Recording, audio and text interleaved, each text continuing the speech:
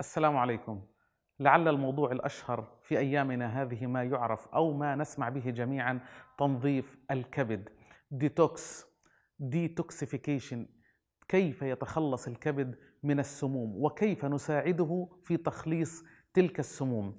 يعني موضوع كتير بهتم فيه اليوم شريحة كبيرة من الناس بتهتم بهذا الموضوع. تعالوا مع بعض في هذه الحلقة القصيرة نتعرف على الكبد وكيف يتعامل مع هذه المشكلة التي يجب علينا جميعا أن ندرك خطورتها إذا لم تتم بالشكل السليم والصحيح. الكبد غدة كبيرة تقريبا تزن كيلو ونصف الكيلو جرام يوجد الكبد في المنطقة اليمنى من تجويف البطن، المنطقة اليمنى العلوية من تجويف البطن، ولكنه قد يميل إلى اليسار قليلا، يتكون من جزئين أو من فصين، جزء أيسر وجزء أيمن. الكبد غني جدا بالتروية الدموية يعني الدم آه، يتدفق إلى الكبد بشكل كبير جدا. خلايا الكبد خلايا آه، آه، نسيجها خاص خلايا كبدية أحد أشهر وأهم وظائف الكبد ما يعرف بإزالة السموم أو تخليص الجسم الجسم من السموم اللي بتدخل أجسامنا سواء كانت عن طريق الغذاء، الشراب، الطعام، الهواء، حتى عن طريق الجلد، حتى يعني بأي طريق ممكن تدخل إلى أجسامنا تلك السموم أو المواد الكيميائية الضارة. آه، أو بعض أنواع الفيروسات والبكتيريا وكيف يتعامل الكبد معها. في هذه الحلقة بدنا نركز على كيف نساعد الكبد. نحن في التخلص من تلك السموم. الكبد دائما أنا أشبهه بالآلة أو بالماكنة التي تعمل آه، ليل نهار ولكن يزيد عملها أثناء أو بعد تناول الطعام والشراب. أي آلة بتستخدمها اليوم ممكن أنت بعد ما بتستخدمها يوم أو يومين أو ثلاثة بتحتاج إلى تنظيف بتحتاج إلى تعقيم بتحتاج إلى تطهير. لعل التسمية فضفاضة شوية تطهير أو تعقيم أو تنظيف الكبد ولكن حقيقة الكبد يحتاج منا إلى مساعدة لأنه الكبد عضو هام جدا في أجسامنا لا يمكن تعويضه. لا يمكن تعويض الكبد بغدة أخرى تقوم بمهام الكبد. وظائف الكبد عديدة لكن أهم وظيفتين اللي حنتكلم عنهم كيف يتخلص الكبد من السموم وكيف ينتج أو اللي هي الوظيفة الثانية إنتاجه وتصنيعه لما يعرف بالعصارة الصفراوية. في عجالة العصارة الصفراوية يعني ما اللي إحنا بنسميها الصفراء آه، بتفرز من الكبد وتخزن في الحويصلة المرارية. أحد أهم وظائفها هو عملية تحطيم وتكسير الدهون وجعلها على شكل مستحلب دهني. طبعا ما بكسرها أو ما بحطمها حتى النهاية ولكن يجعلها قابلة للتعامل في الجهاز الهضمي. يعني الجهاز الهضمي بيقدر يتعامل معها بعد هيك وهي على شكل مستحلب دهني. طبعا حنتكلم بعدك شوية عن كيف يتم امتصاص الفيتامينات الذائبة في الدهون معروفة الفيتامينات زي فيتامين A و D و E و K. كل هذه فيتامينات ذائبة في الدهون لولا وجود الدهون المذابة بفضل العصارة الصفراوية التي ينتجها الكبد لما تمت هذه العملية. لكن حديثنا الآن عن تنظيف الكبد من السموم. عندما يتعرض الكبد إلى مشكلة أو تلف ما أعراض الكبد أو أعراض مشاكل الكبد تكاد تكون مبهمة غير واضحة. بشكل كبير ولكن قد يظهر بعد فترة وجود ما يعرف باليرقان أو الإصفرار إصفرار الجلد إصفرار العين إصفرار الأغشية الأخرى. قد يعاني الإنسان من ألم في البطن ولكنه الألم غير معالمه غير واضحة. ألم يعني منتشر ألم في الجانب الأيمن أحيانا يتركز في الجانب الأيمن. ولكن هذا الألم قد لا يكون شديدا وبالتالي قد لا يبحث المصاب بمشكلة في الكبد لا قدر الله عن الطبيب لا يبحث عن الاستشارة الطبية لأنه الألم يعني يستطيع تحمله. مشاكل الكبد قد ينتج عنها الغثيان الشعور بالغثيان بالذات في وقت الصباح أو حتى في بعض الحالات القيء. قد ينتج عن مشاكل الكبد الحكة وإحمرار كف اليد كف اليدين يصبح محمرا قليلا ويصاب بحكة. طبعا بفعل تراكم ما يعرف بالماده الصفراء واللي فيها بتحتوي على عنصر أو مادة البيلاروبين من مشاكل الكبد تورم الساقين كثير من الناس بتورم القدمين عنده بالذات في يعني آه، الصباح وفي آخر النهار وهذا التورم بيكون صحيح خفيف لكنه القلب لديه سليم والكلى سليمة ولا يبحث عن مشاكل أخرى. قد يعاني مريض الكبد من شحوب لون البراز و البول بكون العكس بكون داكن لون البول بكون داكن يميل إلى إلى الصفرة المعتمة أو إلى الحمرة قليلا لون معتم لون البول. من مشاكل الكبد العشاء الليلي. ما علاقة العشاء الليلي؟ ما علاقة البصر في الكبد. أنا حقول لكم إياها بشكل مختصر وسريع جدا. فيتامين A اللي بسبب نقصه في الجسم بسبب العشاء الليلي كيف يمتص؟ فيتامين ذائب في الدهون لولا الدهون اللي بنتناولها.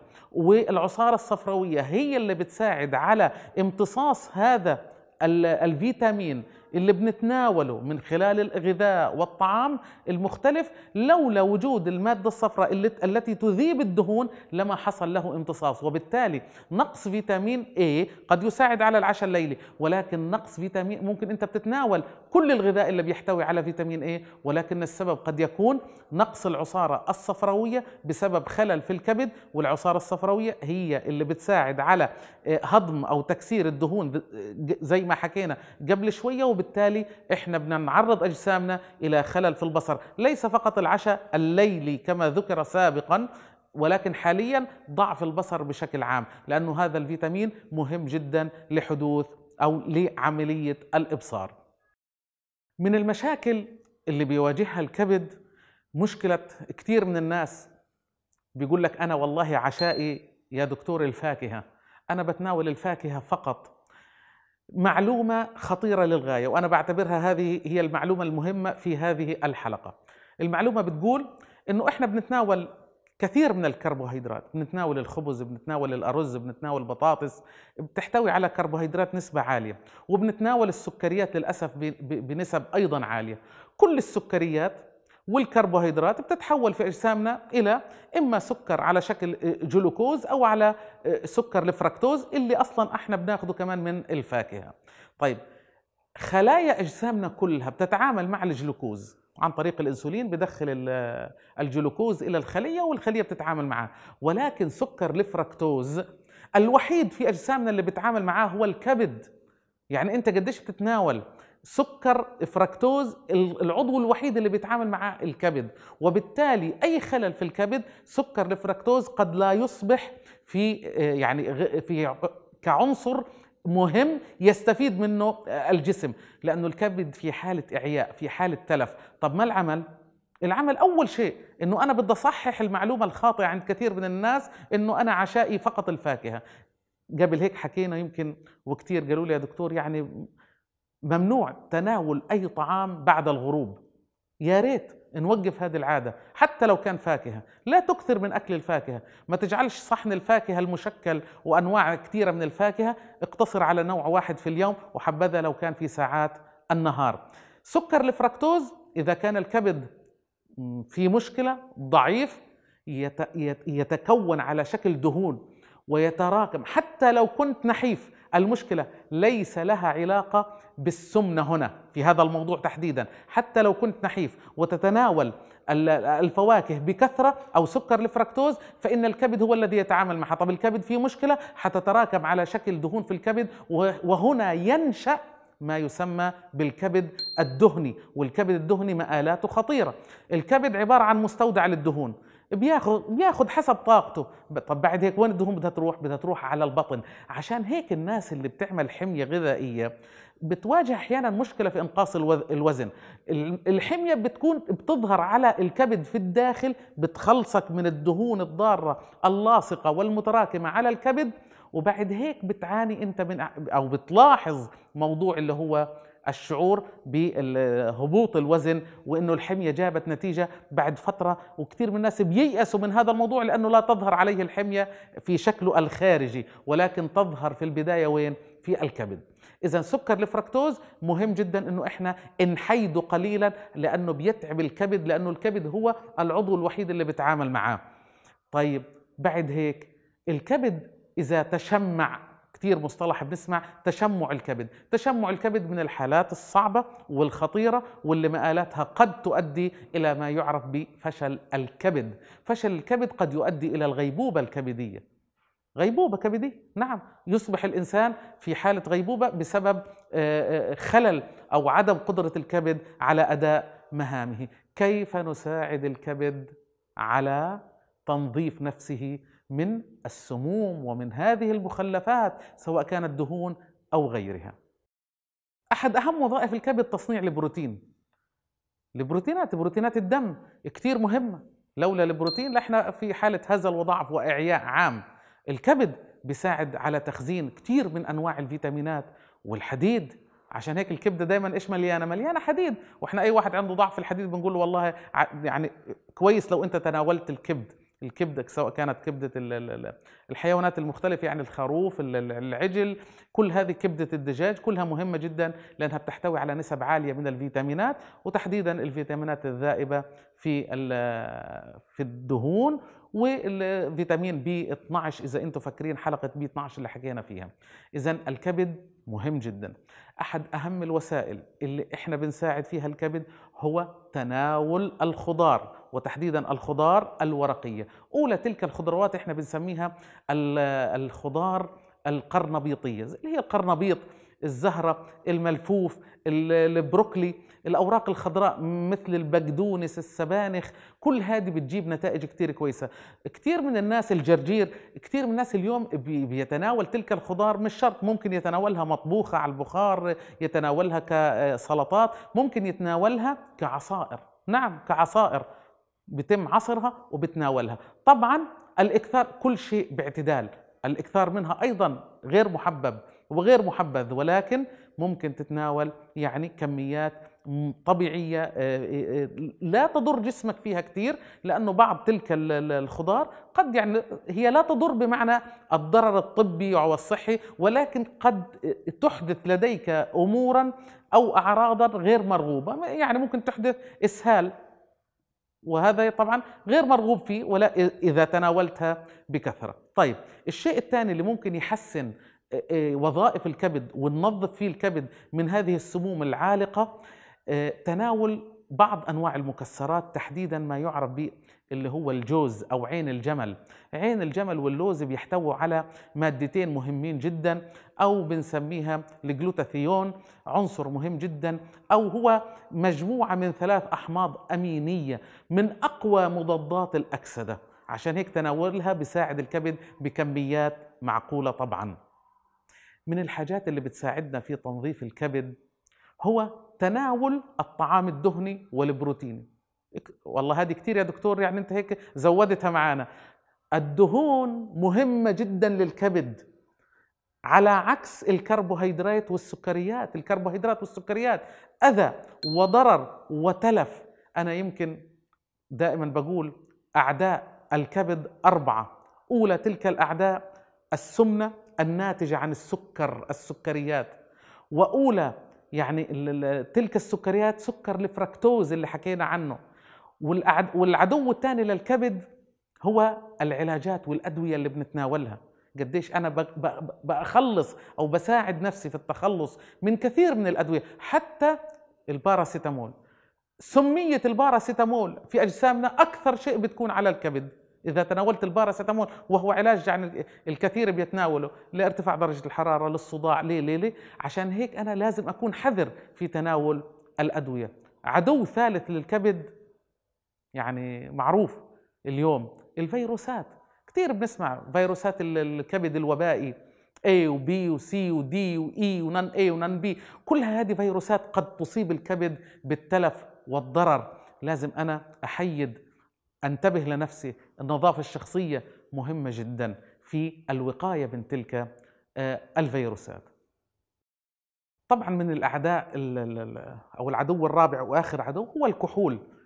يعني الكحول من الأمور الخطرة جدا على الكبد وطبعا يمنع تناول الكحول بشكل مطلق لأنه أثاره مدمرة على الكبد. 50% من مرضى الكبد في الولايات المتحدة على سبيل المثال وفي بعض دول أوروبا آه، يصابوا بما يعرف بتشمع الكبد ومشاكل الكبد وتلف الكبد بسبب آه، تناول أو الإفراط في شرب الكحول. آخر حاجة بدي أحكي في موضوع كتير مهم ظاهرة التثدي كبر حجم الثدي عند الرجال. اليوم للأسف يعني ظاهرة أصبحت موجودة ومنتشرة. ليش بتصير هذه الظاهرة؟ هرمونين اثنين الهرمون الأول الإستروجين أي ارتفاع في هرمون الإستروجين بالذات عند الرجال بعد سن الأربعين أو يعني الخمسين نقول قد يحدث ظاهرة منتشرة جدا ظاهرة التثدي كبر حجم الثدي عند الرجل وظاهرة مزعجة وغير لطيفة وكثير من الناس اليوم بيعانوا منها بسبب ضعف أو مشكلة في الكبد كبد دهني الكبد في حالة إعياء في حالة مرض في حالة اعتلال يجب أن أبحث عن السبب وأساعد الكبد في تنظيف نفسه حتى لأنه الكبد في الوضع الطبيعي هو اللي بيخلصني من الكمية العالية كمية الإستروجين العالية. هرمون آخر بيخلصني منه الكبد ألا وهو هرمون الكورتيزول هرمون الغضب هرمون التوتر هرمون الانفعال. الهرمون اللي ارتفاع ممكن يسبب لي مشاكل كثيرة ارتفاع ضغط دم وجلطات و و و. طيب أنا الكبد في حالة إعياء ما بيقدر يخلصني منه. الكبد هو الذي يخلصني من زيادة هرمون الكورتيزول وبالتالي يجب أن يكون أو أنا يجب أن أحافظ على صحة وسلامة الكبد. أخيرا الكولين ينتمي إلى عائلة فيتامين بي. من أروع المواد أو العناصر الغذائية اللي بتساعد الكبد على طرح السموم وعلى طرح ما لديه من مخلفات. الكولين موجود في صفار البيض موجود في اللحوم موجود في الكبدة لازم أنا أتناول هذه الأمور. ما بنفع أقول والله ما بدي أتناول لأني ما بحب صفار البيض ما بحب البيض المسلوق ما بحب أتناول الكبدة ما بحب ما بنفع. لازم أنا أتناول هذه الأمور لأنها تساعد الكبد على التخلص من هذه السموم. الميتوثينين حمض أميني كبريتي. يعتبر الحمض الأمين الأول في تصنيع أي بروتين في أجسامنا. أي بروتين حتى بروتينات بلازما الدم اللي, اللي, هي مهمة جدا لأجسامنا. هذا الحمض نقصانه بيضعف وبيضر الكبد بشكل قوي. لازم أنا أتناول لحوم الأبقار لحوم العجل لحم العجل مهم موجود فيه هذا الحمض.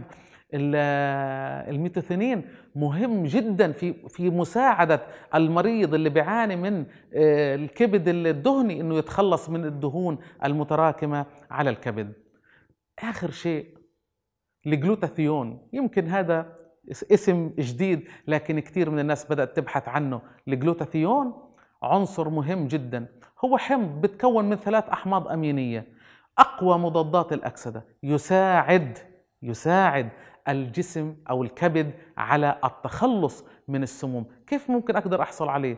يمكن حكينا عن الجوز أو عين الجمل تحتويه، اللوز نفسه بيحتوي بعض أنواع المكسرات بتساعدني كثير في التخفيف من أعراض تسمم الكبد وبالتالي أنا بساعد في تنظيف الكبد بتلك الخطوات السهلة البسيطة. تمنياتي بالسلامة للجميع. ألقاكم إن شاء الله في حلقات قادمة. محدثكم الدكتور نمر دلول.